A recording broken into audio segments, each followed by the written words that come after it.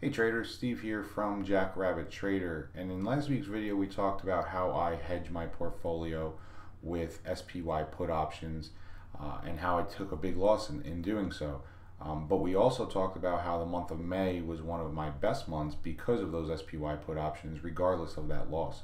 So I want to show you this week how you can go about hedging your portfolio and protecting against market drawdowns. So let's get started.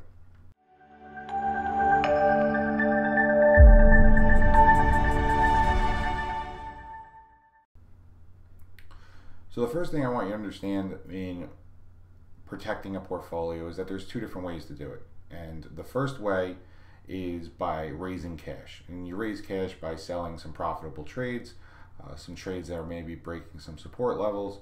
But whatever your exit strategy is um, for these market drawdowns, you want to start implementing that, right? And you want to do that as quickly as possible, understanding that you may be taking profits and the stocks may run a little further or you know you may uh, sell out of a trade that's breaking support with the idea that uh, it's going to continue lower and ultimately it bounces back higher. Whatever the reason, you want to just raise some cash and un understand that in these conditions you're playing defense. You're not looking to be right. You're not looking to um, maximize your profit potential in this case, but you're looking to just get some cash off the table uh, and really kind of level out the playing field and level out uh, your portfolio to act against you know the market drawdown. Obviously, if you're 100% invested and the market draws down whatever 10%, um, you know you're going to have to make back that money on a on a smaller amount of money. So uh, you want to minimize what you have at risk. Put some cash in the bank so that when the market comes down, you can go about your process uh, and, and, start buying stocks again at lower levels or uh, looking for new breakouts and be at a position of strength instead of weakness. So that's the first way, and anybody can implement that.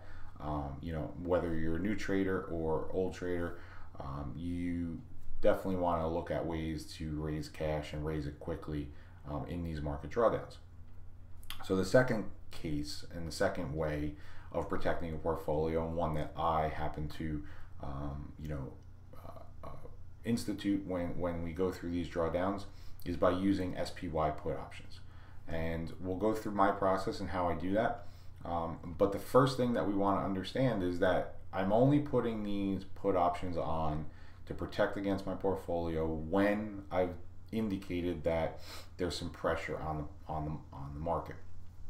And I've done that with what I call market cycles, and it's super simple. Essentially, anytime the SPY is above the 21 day moving average, uh, exponential moving average, we're going to be long with no hedge.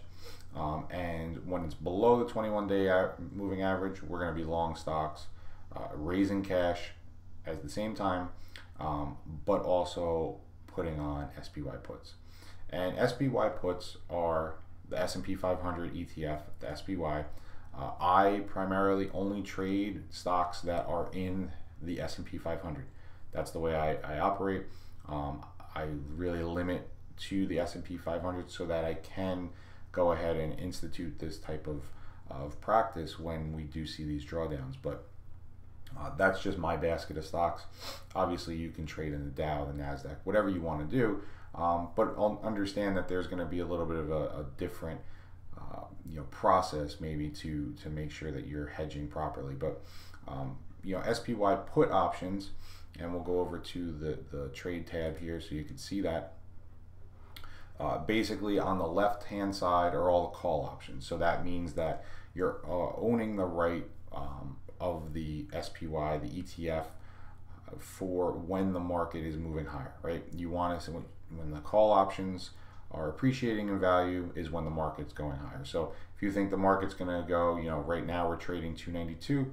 If you think you're going to end up at 300 by, you know, the middle of September, then maybe you go buy the 292s or the 295 call options, um, and it gives you the right to uh, own 100 shares of, the ETF at the current price. So, in for example, let's just use the S&P, uh, you know, the September 290 calls.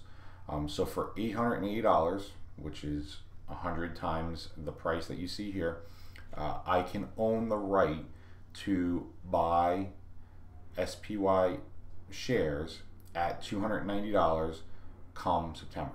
All right, so if the market appreciates and we go to 300, I can then institute or exercise my option to buy at 290, uh, convert it into shares, and then ultimately, you know, I, I am long from 290 and we're trading 300. Um, I'll be perfectly honest, I don't think I've ever exercised options. I really just trade around them as an instrument, another you know uh, trading instrument. Um, on the other than the flip side, if you think that the market is going to be down at say, uh, you know, 280, let's let's call it, then we'll look on the right side, and those are put options, and those give you the right again to own or short um, shares of SPY at that price. So you'll see here at 577 584 is the bid ask. Um, so $584 gives me the right to short 100 shares of stock at 290. Again, if the market goes to 280, it's $10 move. I now made $1,000, 10 times 100 in my put options. Again, have never exercised, um, but that's buying options. There's a whole other side of it, a whole other uh, you know, group of traders that sell options almost like insurance premium. Um, you know, tried that. It didn't work for me. Um, tried a lot of things. Didn't work for me except for really trading the weekly chart and finding that support and resistance. But regardless, um, that's just a quick rundown. I'm sure there's mm, uh, more thorough explanations on put options uh, or options in general. Um, you don't really have to get involved in that. I think it's uh, maybe unless you're really looking to um, trade, you know, like I said, the the selling and, and of option premium. You know, there's Vega, there's Gamma, there's Delta, um, and there's a lot of other things that you know maybe aren't as useful, but that's basically the gist. You're either getting the right to buy and own, or you're getting the right to short and sell um, those shares. So what we do, and what I do, is uh, we use the one thing in options that I think is actually useful um, as far as Vega and Gamma and everything is Delta. And Delta is essentially the, the change in the stock price per every $1 move. So what that means is if we go here, um, let's go back to the 290, uh, let's go to actually the 290 puts because we're really talking about puts, not calls. Um, so if you go over to this delta column, you'll see that the 290 puts have a negative 0.42 delta. So what that means is for every dollar that the SPY falls, I'm going to make $42 in layman's terms. Okay? I'm going to make $42 for every dollar that the SPY falls. On the call side, you know, just to kind of round out this option tutorial, uh, on those 290 calls, I would make $57 for every dollar the SPY gains. All right, 57 and you could see the different colors in the option chain. Basically what that is is anything that's in the money, all right, so it has some kind of value because the stock is trading above uh, the current price and not all time value. I'm not going to get into it again. We've probably exhausted more than you need to know about uh, options, but again, just a, a good understanding of what that means and what that is. So let's focus on the put options because that's how we're going to hedge the portfolio. And what we're going to do is we're going to go into one of my accounts. All right, and this is my account. And you'll see that here are all the trades that I'm in. Okay, here are all the long trades uh, with stock, you know, and my gain and loss and everything like that. And what we're going to do is we're going to beta weight to the SPY. All right, and we're also going to turn on, and this is in Thinkorswim. Um, I'm sure other platforms have the same type of setup, but what we're going to also do is turn on Delta. right? Because remember, we just talked about Delta, right? I'm making 47 or 51 or whatever it was for every dollar that the the uh, SPY falls. So when we beta weight to the SPY and we look at our Delta column, we are now looking at I am currently long 65, I don't even know how to say it, 65 deltas of SPY. All right, so for every dollar that the SPY moves higher, I should make $65 in this account. All right, and that's the way I look at this. So what we need to do is determine the number of puts we need to to buy to become what we call delta neutral, or at least as close to delta as possible. In my situation, I don't ever like to go delta negative. All right, I don't ever look to um, uh, be overall short in my portfolio, if that makes sense. So, for argument's sake, if if I'm long 65 deltas, I don't want to buy or or get my deltas to negative uh, delta because that means I'm overall short. And my feeling is that the market always usually has a has a uh, inclination to trend higher. So I always want to be at least somewhat long. So with knowing that we have 65 delta in long value, we want to go back to that trade tab, right? And we're going to look at the SPY puts and see how we can bring our SPY puts down. So with that said, we're going to look, again, I'm more of a short-term hedge. I don't really like to be in a hedge for more than maybe a week. Um, and, and that's as a result of last week's video, uh, you know, and you can look at that. But I'm really looking to be in and out of those hedges uh, and hopefully trade around them. Um, but if we go out, we're going to look 30 to 45 days out uh, in the market. So let's actually just stick with these September um, options. Uh, expire September 20th, and those are 47 days until they expire. So with the market, you know, if I was going to put a hedge on, let's call it, um, we would look at, you know, we're trading 292 i would try and get something in the five dollar range and i usually like to get to something that's a little bit more of a round number because you'll see there's a little bit more volume and open interest again not something uh, super critical especially in the spy uh, etf um, but some other stocks if you're you know however you're doing that you want to make sure you have a good amount of volume and open interest because if you don't have a lot of people that are willing to move the, the merchandise really you're gonna have a tough time moving it. Um, so if we look here at the 292s I'm sorry the 290s that gives me a 42 delta a negative 42 delta. If we go to the 292s that's a 47 delta. All right if we go down to the 286s that's a third negative 35 delta. So for me I usually on a hedge would go probably up uh, a strike or two out of the money which means you know down the chain, you know the market has to move lower, um, and that limits risk a little bit in my situation. Um, but you know there's people that'll go and buy you know uh, options that expire you know in 12 days here, and you'll see that they're still getting the same delta, but the capital that is needed is much lower, right? The 290s here are 260 versus 584, so almost half. But you got to be dead on. You got to be like right, and the market's got to move, especially if you're buying short term out of the money options. You got to be spot on because if the market just trends sideways for a week, you're gonna lose your money. Okay, you're gonna basically the time value is gonna be absorbed out of these mark out of these options, and not necessarily, um, you know, do what you're looking for them to do. So uh, like I said, I usually try and go 30 to 45 days out. I'll pay a little bit more, knowing that I have a little bit more leeway, um, that the market can kind of chop around and then maybe break down uh, just for peace of mind. All right, so let's go and actually add this and we'll analyze this trade if we added it to the portfolio. So we're gonna buy uh, one September 290 put at 584.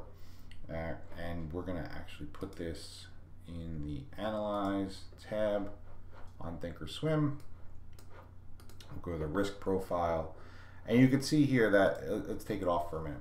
So you can see here that we're beta weighted to my portfolio, and here was the exact delta we just talked about, right? 66.25. All right, and that is matches up with what we basically talked about, you know, close enough, 65.78, whatever. Um, so let's look at back to the Analyze tab.